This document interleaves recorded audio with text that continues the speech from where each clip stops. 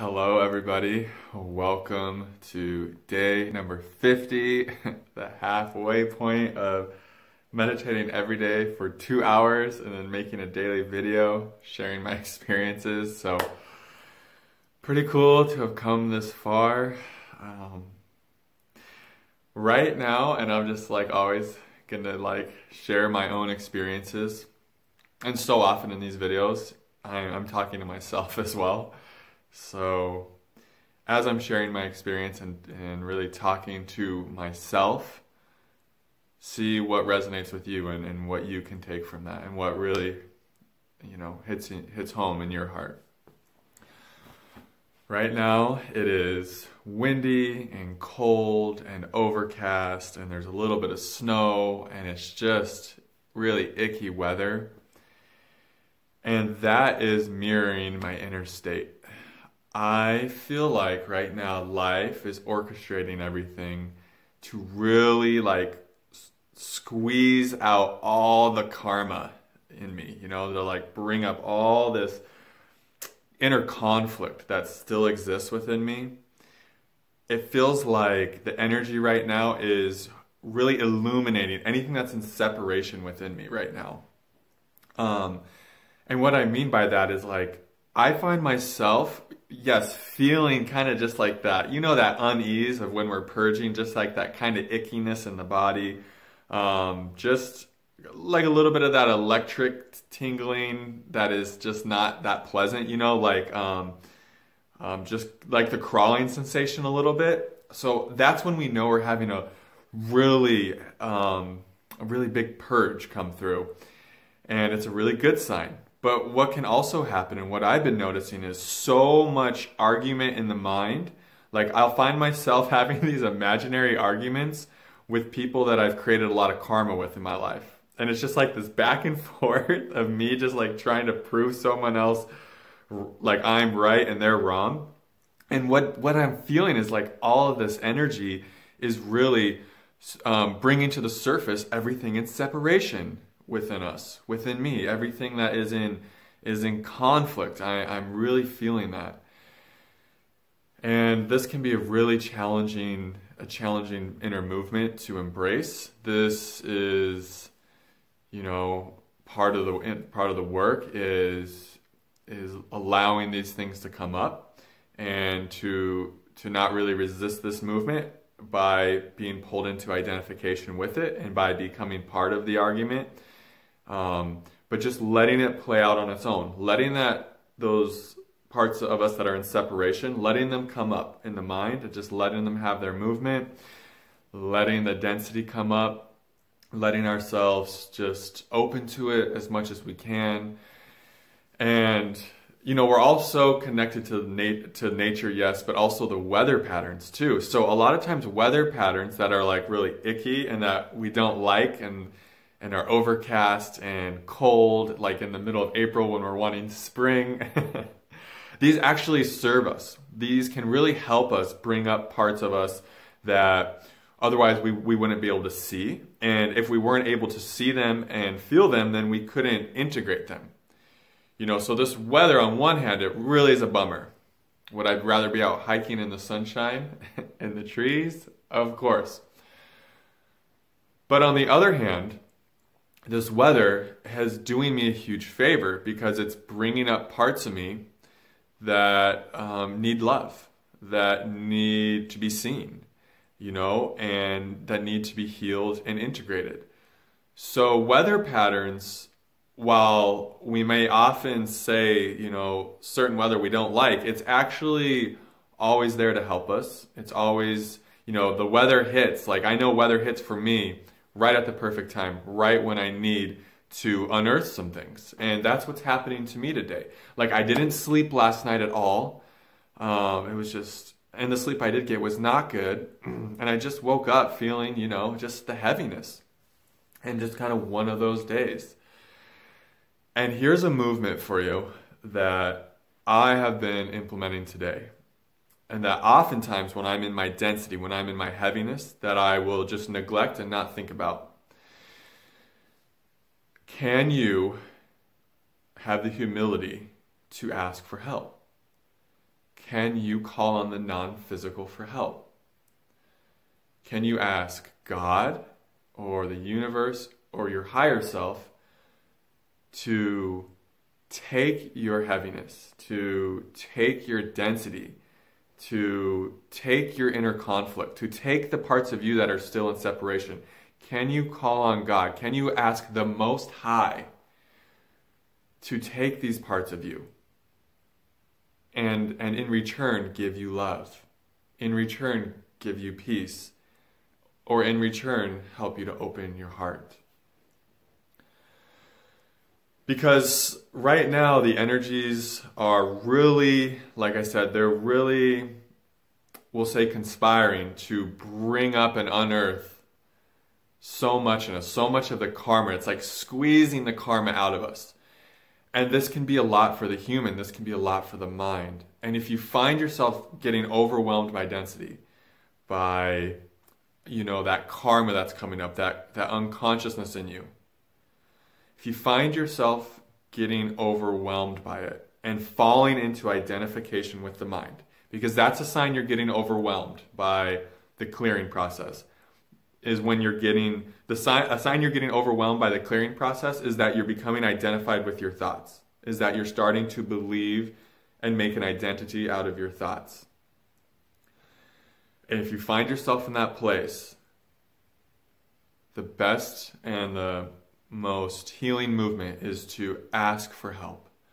Ask God, you know, call on God, call on your higher self to take that in you, to take that in you, which is feeling overwhelming, which is feeling too much to bear, which is, you know, whether it's your anger or your sadness or just your overall, you know, feeling of unease and, and just like all the symptoms that can come with a purge, you know.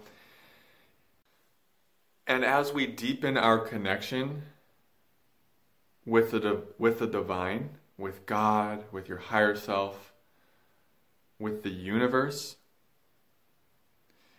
you'll notice you'll be brought into your heart. It's a natural movement. It's almost like you can't be connected to the to the divine and not have an open heart. And you can't have an open heart and not be connected to the divine. It feels like one movement. And these clearing processes, these purges happen to help us let go of separation, to help us dissolve whatever is in us that is in conflict and separation, which is just to say, it, it these these um, purges are here to help us disidentify with the mind, to let go of identification with what we're not, which is thoughts and the psychological construct of who we are, or labels. That is what we're not, and that is what these energies are here to help teach us and here to help us let go of. And as we let go of those, of that identification with thought and the mind and all of that, dualism and separation and conflict and right and wrong and good and bad, as we let go of that and we sink deeper into the divine, we come more into our heart. And I had someone, I'm going to butcher this name, but it was V. Vander. Ah, I'm sorry, but someone commented recently. It just feels never ending. I think they were saying it feels never ending. This this movement of not knowing, of feeling like there's no future, of the uncertainty, and it's really hard. It is hard. It's as hard as we make it. It's as it's only as hard as we are identified with the mind. So if we're very identified with the mind and our thoughts and our psychological construct and our labels and with having to know and with needing certain certainty in all this, which all comes from the mind, then yes, it, it's it's a very hard thing to grasp. The thing of the the idea of never knowing, of not knowing. But as we surrender that way of living, and we fall into the divine's arms, and we feel held, and supported, and loved by the non-physical, by the divine, by the universe. And as we come into our heart more, the idea we realize what we thought we knew when we were living through the mind was always just an illusion, was never real, anyways. And that this whole journey has been so divinely orchestrated the whole way through. If you look back at your life, you'll see it's it's been a divine movement that you may have thought you were in control of temporarily. So, what's coming to the surface right now with these energies is just an illumination of what's always been. It's always been this way that we have never known our future for sure, that we have always been uncertain about what's going to happen. You know, life, this existence is very temporary, very fleeting, very temporal. And it can be, it can just evaporate like that. A, a lifetime can feel like literally a flicker of light, you know, when you zoom all the way out. And that's the essence of this experience. That's where the growth is, is embracing the un- uncertainty. Embracing that you never know what's going to happen. And so life is really giving us an opportunity to see what within us is resistant to the unknown, is resistant to not knowing. And that part of you that you, you will notice, that part of you that is resistant to uncertainty and to not knowing, is the part of you that is still identif- identified with the thinking mind. And the divine has orchestrated circumstances so perfectly on planet Earth right now to help us to see those aspects of us that are still identified with that thinking mind. And it's helping us through, you know, squeezing the karma out of us, through bringing up all of our unconsciousness. It's helping us to let go of that identification and to connect with our true nature, with our divine nature with our infinite nature so that we can be so that we can flourish in uncertain times so that we can embrace the unknown so that we can really make that a, what our life is so that we can just live spontaneously in the moment. And to do this it takes that trust. It takes that trust. And it takes living with an open heart. And that's what these energies are, are here to help serve us to do. They're, they're here to help us break identification with the mind. And sometimes that can be fierce and that can be painful and that can be scary. But it's also here to show us that this universe is very friendly and supportive. It's a very friendly and supportive universe. And like I've said before, I think I've heard someone else say, maybe it was Anna Brown, when you let go of that identification with the mind and you fall back, you're falling back into a feather bed. You will literally feel yourself being held.